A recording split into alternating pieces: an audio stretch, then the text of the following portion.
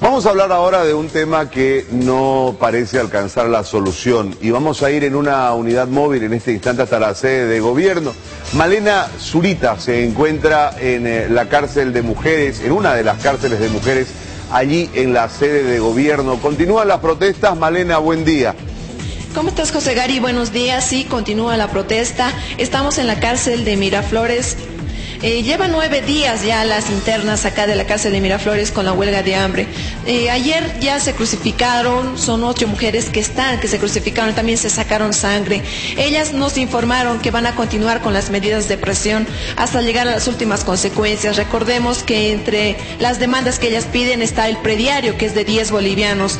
También piden las mejoras en la infraestructura, porque al interior de la cárcel es muy precaria, ellas no tienen colchones, duermen casi en el piso, hace mucho frío también en las noches, es lo que nos comentaban.